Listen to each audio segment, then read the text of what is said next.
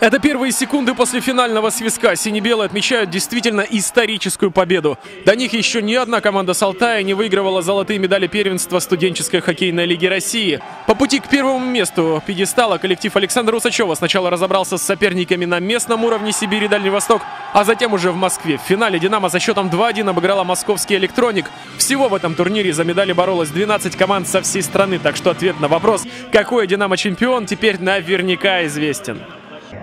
На шаг вперед борец Виталий Щур пополнил коллекцию наград новой медалью. На этот раз спортсмен стал обладателем серебра чемпионата Европы. В финале Виталий один балл уступил оппоненту из Турции. Правда, до этого наш земляк трижды уходил с ковра победителем. Поочередно разобрался с представителями Эстонии, затем Болгарии и Грузии. Особенно зрелищным выдался полуфинал. Победу со счетом 5-4 Щур вырвал на последней минуте. Тяжеловес Александр Карелин позже похвалил Виталия за то, что в решающий момент тот проявил волю к победе.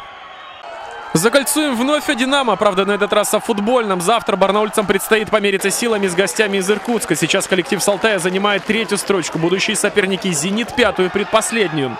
После незапланированных потерь баллов в том же Иркутске команда Сергея Шишкина в случае очередной осечки рискует выбыть из чемпионской гонки. Лидер первенства Сахалин идет пока без ошибок. Стартовый свисток прозвучит завтра в 18 часов ровно. После динамовцы уже 7 мая также в родных стенах попытаются переиграть неуступчивую для них Читу.